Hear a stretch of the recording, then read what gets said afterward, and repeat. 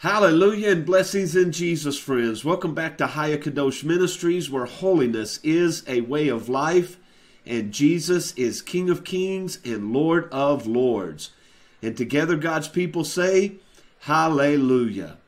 Well, friends, we're continuing our study in the book of First Enoch, and today we are going to begin chapter 89. Now, this is a lengthy chapter. So I need to take a breath because I'm very excited about what's going to be presented this morning. You need to grab a cup of coffee or Coke or water, whatever it is that you drink that's relaxing to you. You need to find a comfortable place. You need to have a Bible in front of you, and you're going to need the book of First Enoch open in front of you. Now, I have placed a link in the description box below so that you can follow along with us in the book of First Enoch, both in this video and the videos before and to come. And so, if you have your Bible, if you have your beverage of choice, if you are comfortable, please open your Bible to the book of Exodus. Open up the book of First Enoch to chapter 89, and let's begin with verse 1. Now, I had encouraged you in the last video to read chapter 89, and I wish that I were there with you so that I could see what your thoughts might be on what you have read thus far. Did you see any parallels? Did you see anything in chapter 89 that might have struck a bell from the Bible for you? Or was this absolutely confusing? If it was confusing, by the end of this video, you will have the answer to all your questions. So let's begin in 1st Enoch chapter 89 keeping in mind that this was written before the flood. That is of utmost importance because that is going to verify that this is the Word of God. It may not be in the Bible, it may not be canon for us, but it is the Word of God given to Enoch as a prophetical picture of what is to come. Chapter 89, verse 1. Now, one of those four, this meaning the four angels that, that was speaking with Enoch, one of those four went to that white bull and instructed him in a secret. Without his being terrified, he was born a bull and became a man and built for himself a great vessel and dwelt thereon. And three bulls dwelt with him in that vessel, and they were covered in. Now, this would be Noah and his three sons, and the vessel would be the ark.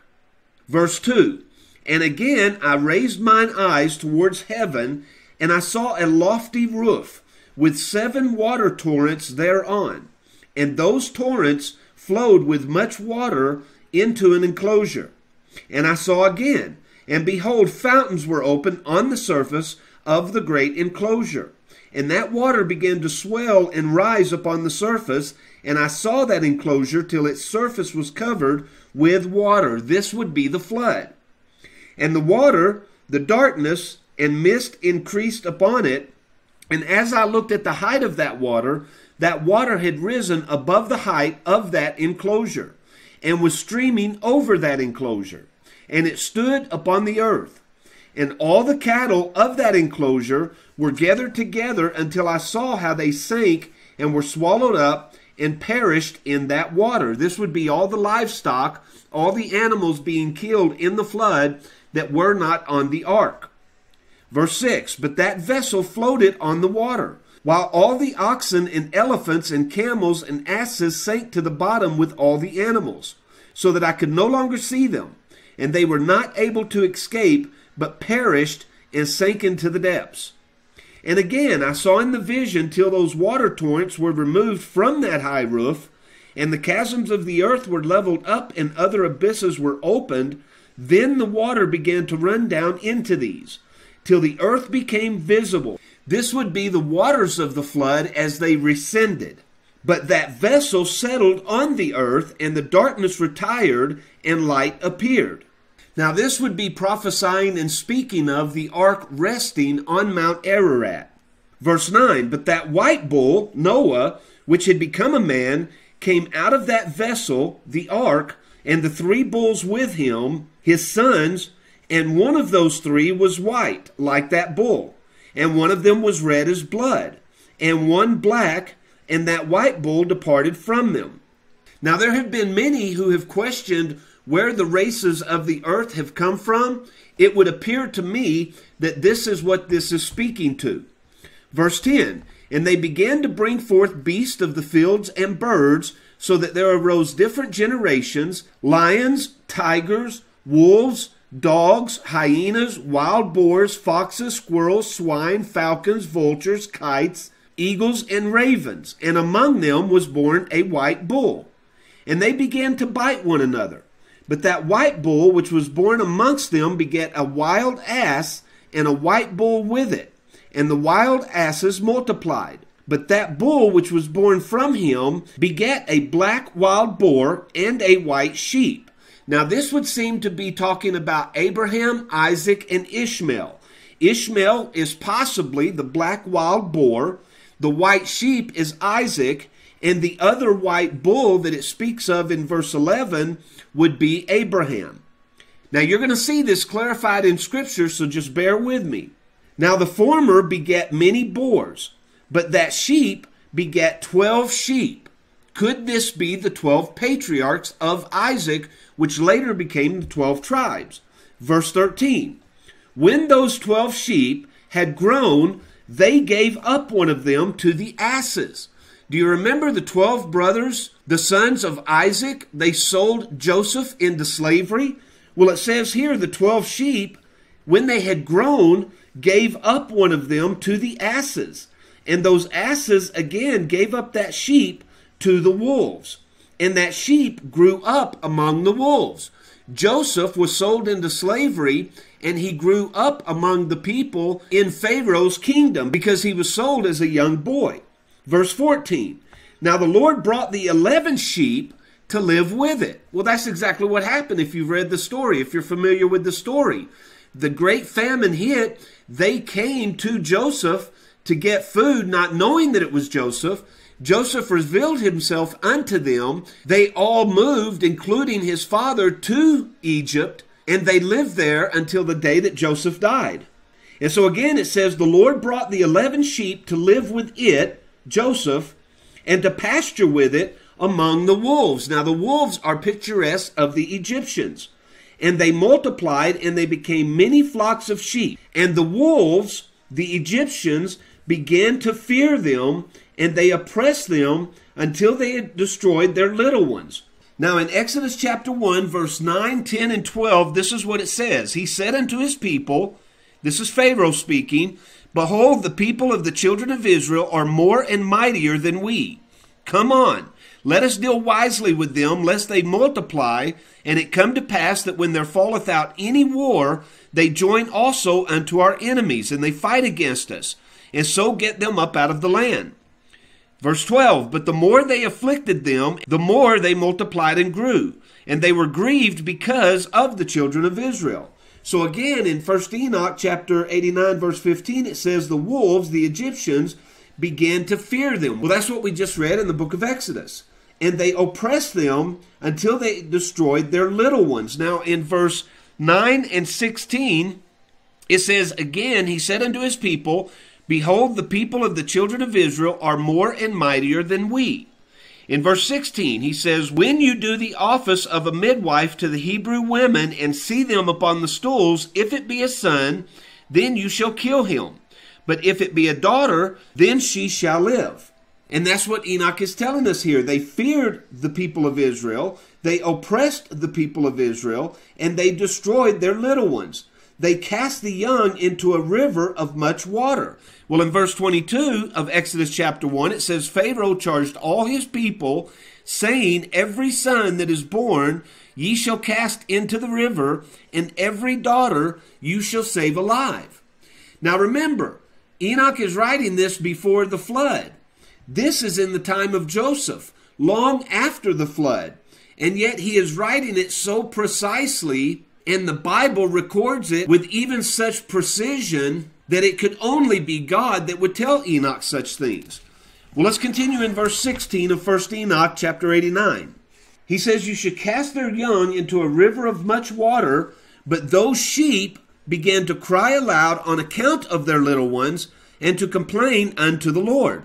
Well, in Exodus chapter 2, verse 23, it says, It came to pass in process of time that the king of Egypt died. And the children of Israel sighed by reason of the bondage, and they cried, and their cry came up unto God by reason of the bondage. Back to 1 Enoch, verse 16. A sheep which had been saved from the wolves fled and escaped to the wild asses. This would be speaking of Moses. And I saw the sheep, the people of Israel, how they lamented and cried. And they besought the Lord with all their might, till that the Lord of the sheep descended at the voice of the sheep from a lofty abode, and came to them, and pastured them. And he called that sheep Moses, which had escaped the wolves, the Egyptians, and spake with it concerning the wolves that it should admonish them not to touch the sheep. And the sheep went to the wolves, the Egyptians, according to the word of the Lord, which is recorded in Exodus chapter 3, verses 7 through 10, where God tells Moses to go to Pharaoh and tell him to let my people go.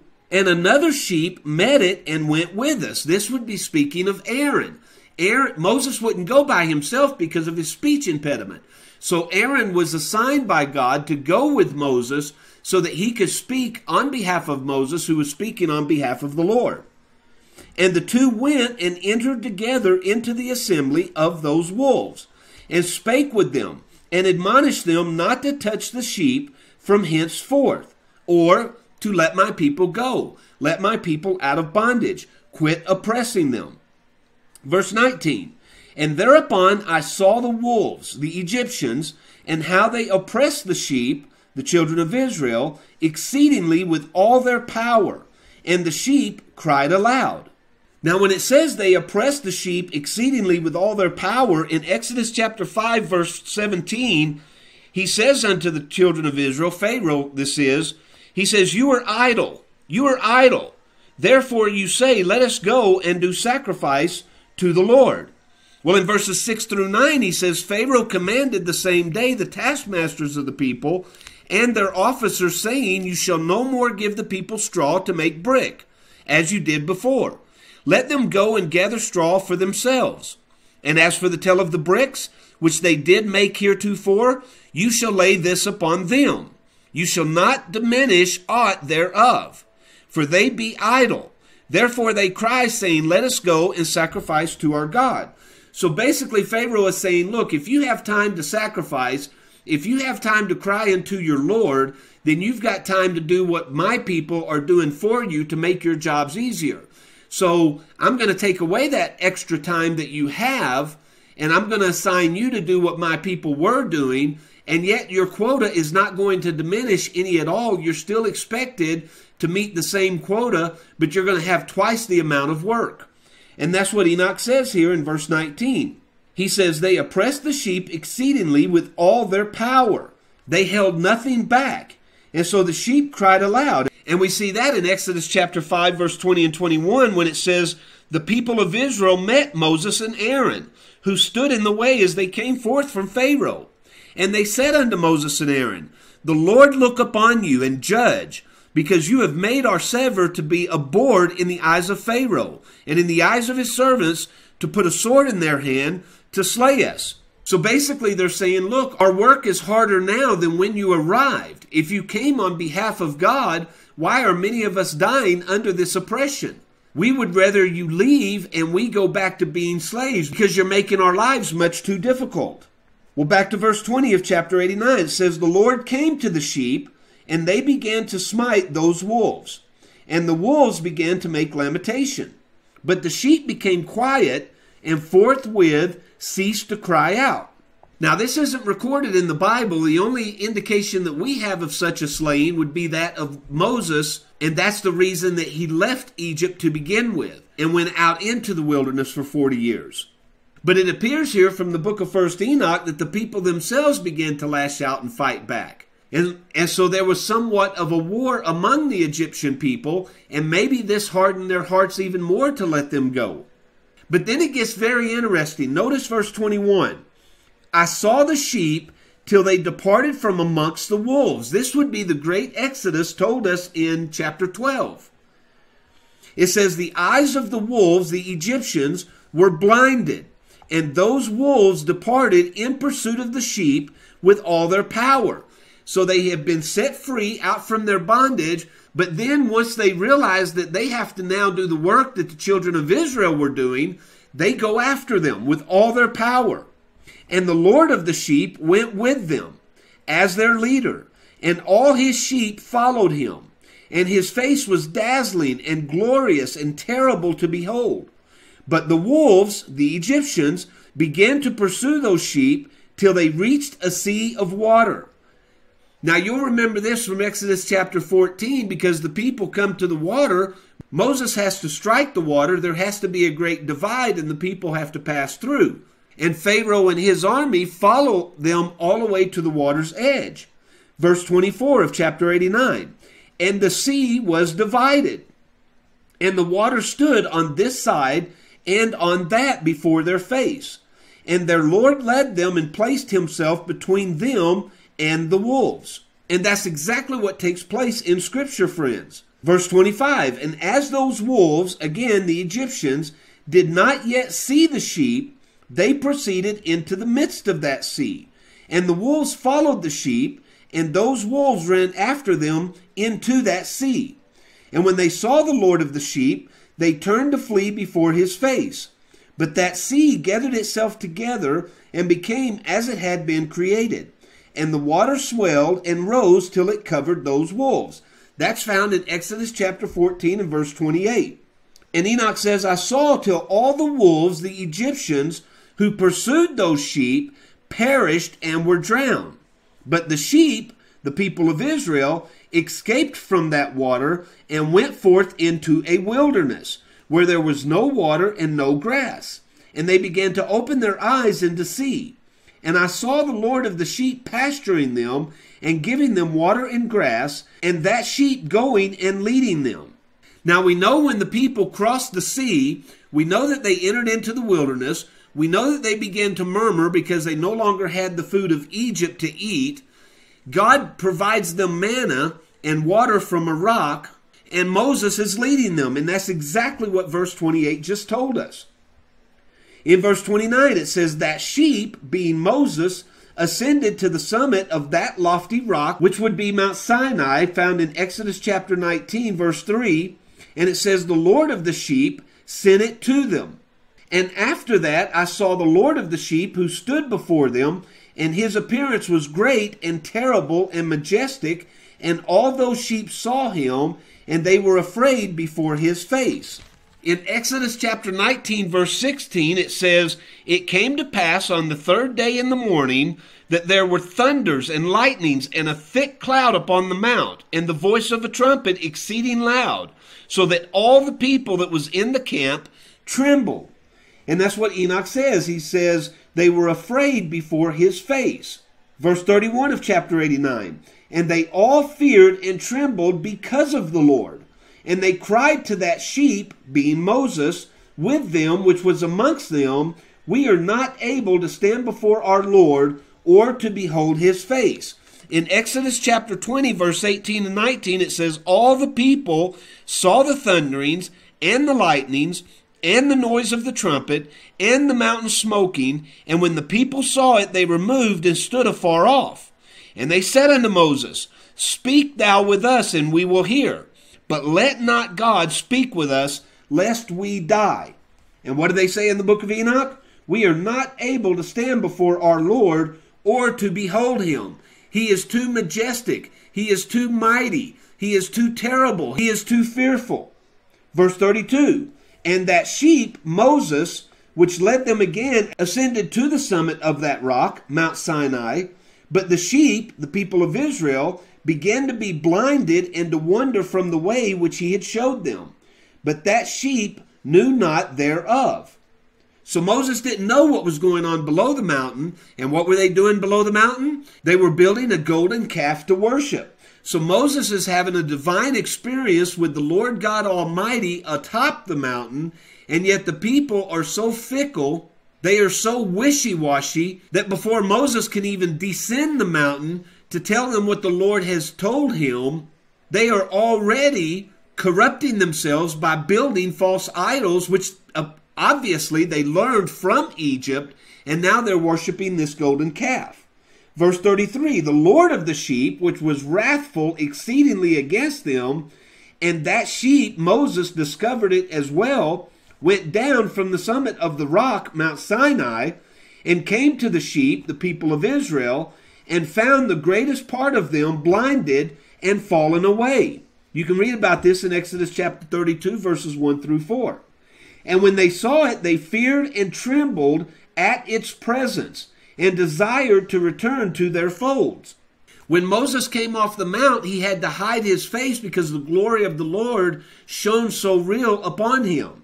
And that's what this is saying. They feared and trembled at Moses' presence and desired to return to their folds. And I saw in this vision till that sheep, Moses, became a man and built a house for the Lord, that would be the tabernacle of the sheep, and placed all the sheep in that house.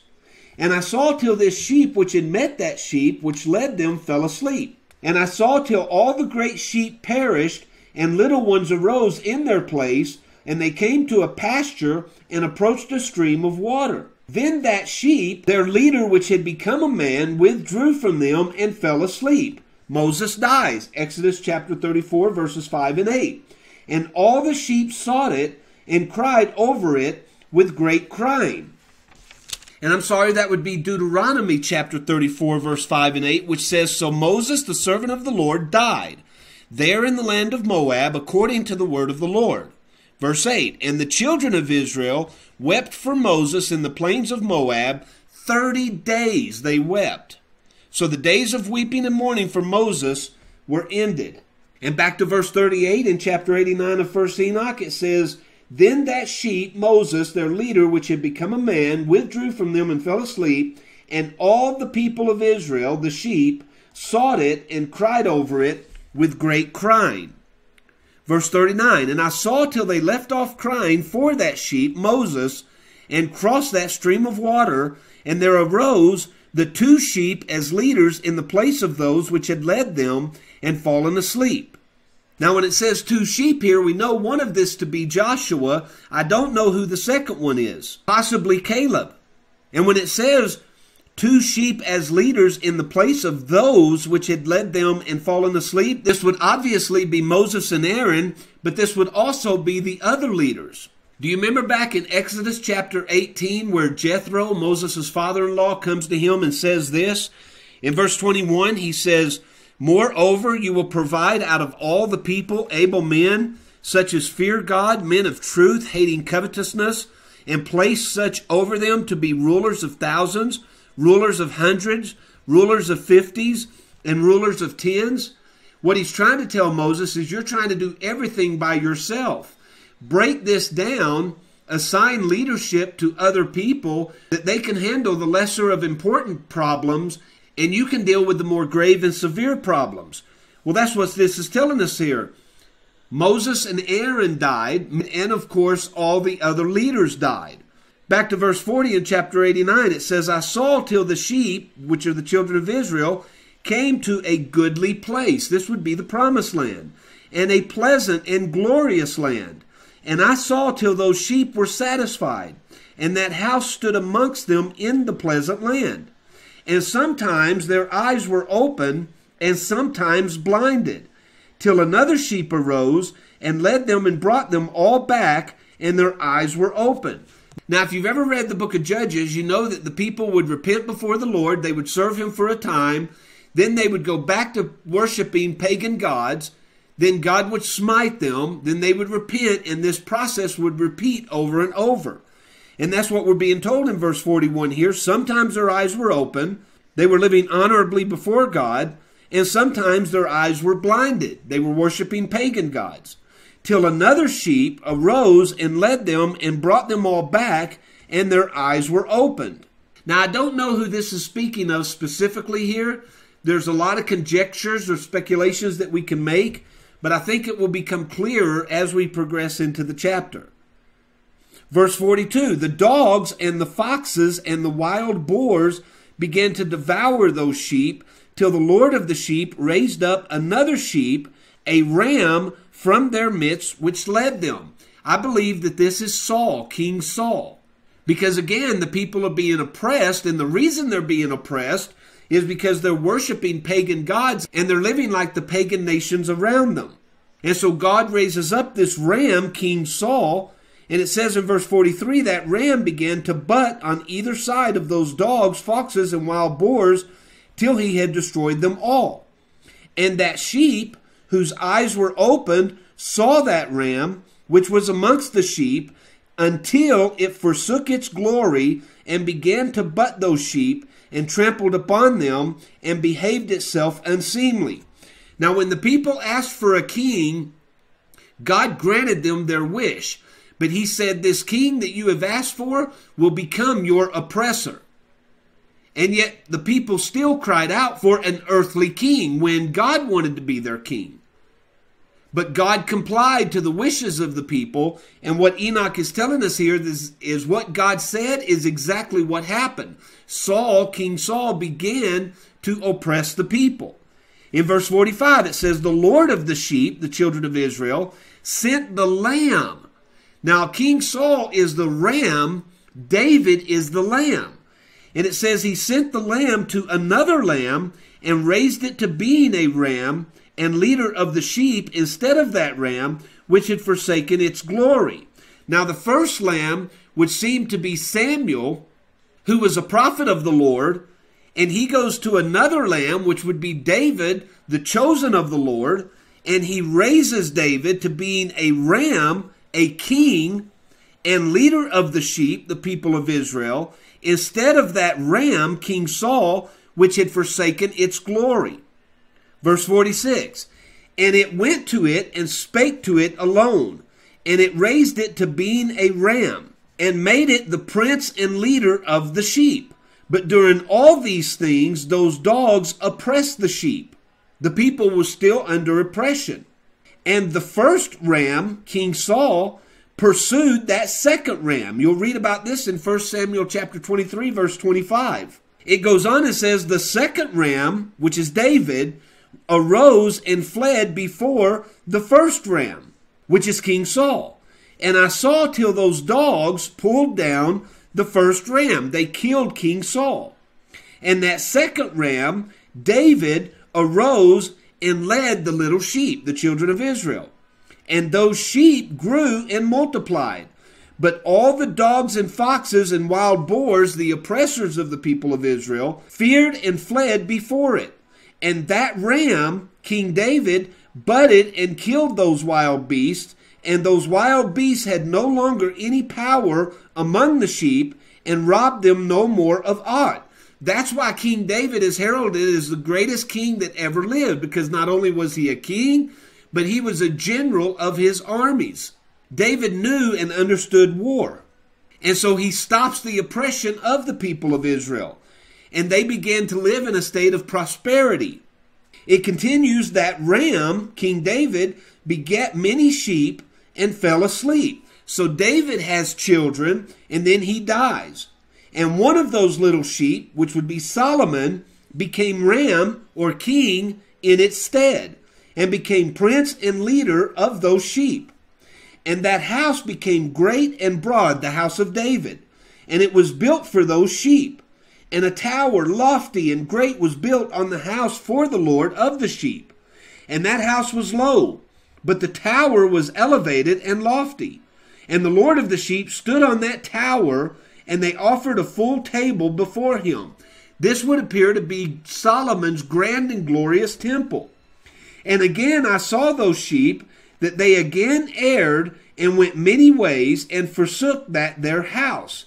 They forsook the way of the Lord over time. And the Lord of the sheep called some from amongst the sheep and sent them to the sheep, but the sheep began to slay them.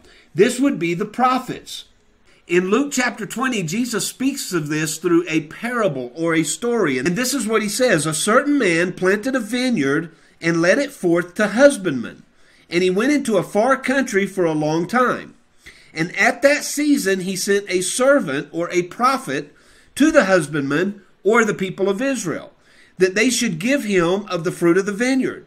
But the husbandman beat him and sent him away empty. They don't want to hear what the prophets have to say, so they beat the prophets. Again, he sent another servant or prophet, and they beat him also, and entreated him shamefully, and sent him away empty. And again he sent a third, and they wounded him also and cast him out. Then said the Lord of the vineyard, What shall I do? I will send my beloved Son. This would be Jesus. It may be that they will reverence him when they see him.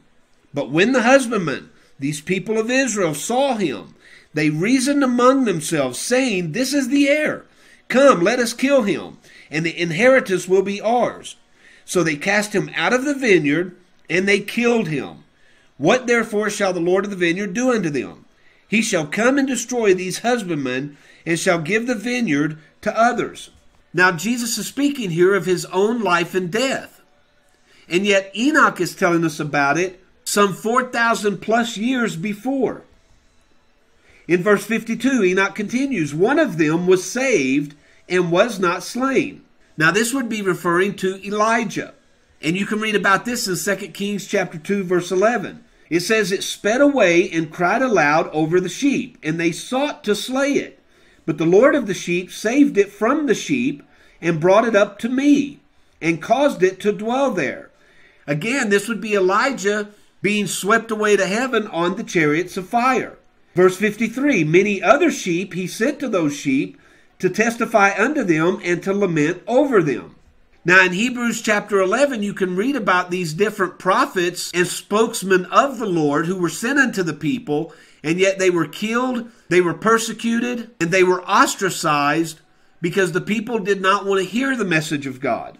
He says in verse 54 After that I saw that when they forsook the house of the Lord and his tower, they fell away entirely, and their eyes were blinded and I saw the Lord of the sheep, how he wrought much slaughter amongst them in their herds, until those sheep invited that slaughter and betrayed his place. And he gave them over into the hands of the lions and tigers. Once again, Yahweh delivers them into the hand of the oppressors. And the wolves and hyenas, and into the hand of the foxes, and to all the wild beasts. And those wild beasts began to tear in pieces those sheep. And I saw that he forsook that their house and their tower and gave them all into the hand of the lions, to tear and devour them into the hand of all the wild beasts. And I began to cry aloud with all my power, and to appeal to the Lord of the sheep, and to represent to him in regard to the sheep that they were devoured by all the wild beasts. But he remained unmoved, though he saw it, and rejoiced that they were devoured and swallowed and robbed and left them to be devoured in the hand of all the beasts. This would seem to be speaking of the 12 tribes being divided. Verse 59 says, He called 70 shepherds and cast those sheep to them that they might pasture them.